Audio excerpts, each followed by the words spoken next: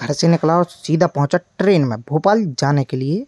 और मैं दस बजे भोपाल घर पहुँच के मैंने कुछ खाया पिया और सीधा मैं उठा सुबह। मैंने ब्रश किया, नहाया, धोया।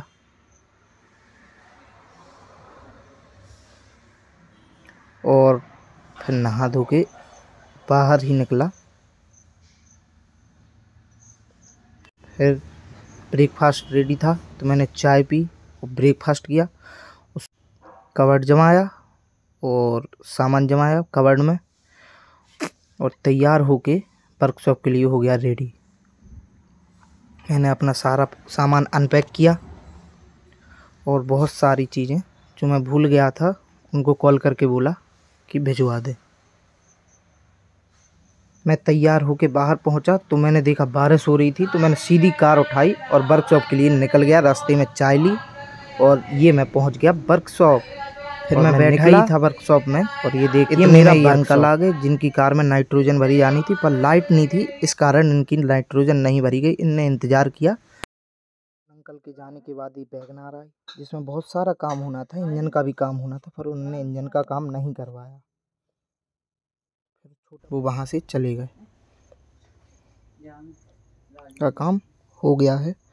फिर इतनी देर में एक आई ट्वेंटी आई, जिसमें से फिर दोनों का काम शुरू करवाया, देखा तो फिर इनका काम शुरू हो गया और आज ही के दिन में काम कंप्लीट हो गया और इनकी गाड़ी रेडी थी जाने के लिए। मैं काफ़ी टाइम से अंदर नहीं आया था, मैं ऑफ़िस में आया, मैंने स्टॉक देखा क्या क्या नया आया है क्या क्या पुराना है। फिर मैंने जमाना शुरू किया और सब कुछ देखा। तो मैं फ्री हो गया तो मैं सामान देखने लगा क्या क्या सामान है क्या क्या आने की ज़रूरत है। तो मैंने हर एक सेक्शन में जाके नई नई चीज़ें देखी क्या क्या नया आया, क्योंकि हमारे पीछे भी बॉडी शॉप का काम लग गया है। तो आगे बढ़ते हैं, देखते हैं और सामान। फिर जिसको कुछ कुछ सामान देना था मैंने उसको सामान ढुड़वाया और दिया, फिर वो अपने काम पे लग गया और मैं भी अपने काम पे लग गया।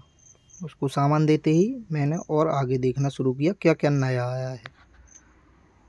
चलो तो देखते हैं क्या और नया है। फिर मैं यहाँ टाटा के सेक्शन में पहुँचा, टाटा का सर्विस का सामान देखा सब क्या क्या है क्या क्या नहीं है और आगे देखते हैं क्या क्या नया आया है।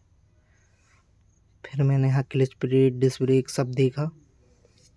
और ये देखिए, स्टॉक में बहुत सारा सामान है।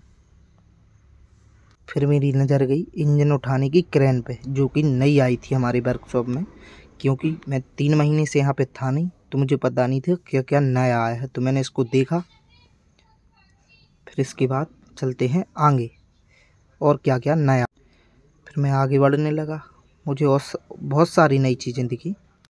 फिर ये स्विफ्ट आई जो कि धुलनी थी, इसको धुलवाया और रेडी कर फिर इतने में ही एक और गाड़ी आ गई जिसकी सर्विस होनी थी तो मैंने उसका कुछ कुछ सामान उठा के दिया और सर्विस स्टार्ट करवा दी। बहुत टाइम हो गया था तो मैंने रेस्ट कर लिया और मैं टीवी देखने लगा। उसके बाद उसके बाद एक अंकल ये जायलो लेके आए, जिनका रूप टॉप लीक कर रहा था तो उसका हम लोगों ने सॉल्यूशन किया।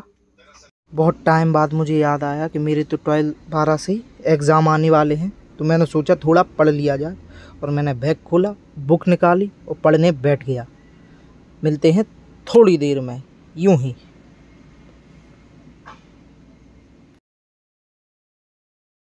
फिर मेरे लंच का टाइम हो गया तो मैंने स्कूटी उठाई, जो कि वर्कशॉप पे ही रखी थी। और मैं निकल गया घर की ओर खाना खाने के लिए। खाना खा के लौट के आता हूँ, फिर आपसे मुलाकात होगी, थोड़ी देर में।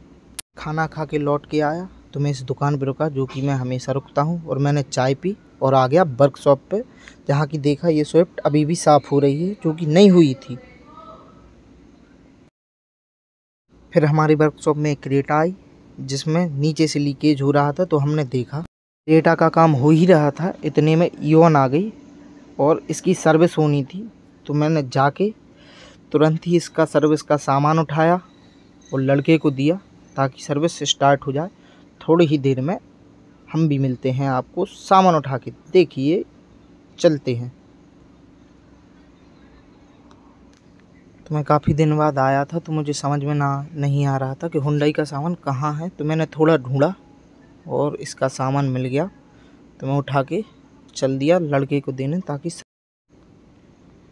मुझे बहुत टाइम लग गया सामान उठाने में। मैं भी बहुत भुलक्कड़ हूँ, लेकिन मुझे सामान मिल गया और ये मैंने दे दिया। ये देखिए, ये है एयर फ़िल्टर योन का। चलिए, अब सर्विस होने दें और आगे बढ़ते हैं। कुछ और काम करते हैं।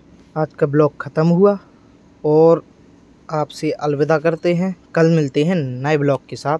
और ब्लॉग के लिए सब्सक्राइब करें मेरे चैनल को पी एस ठाकुर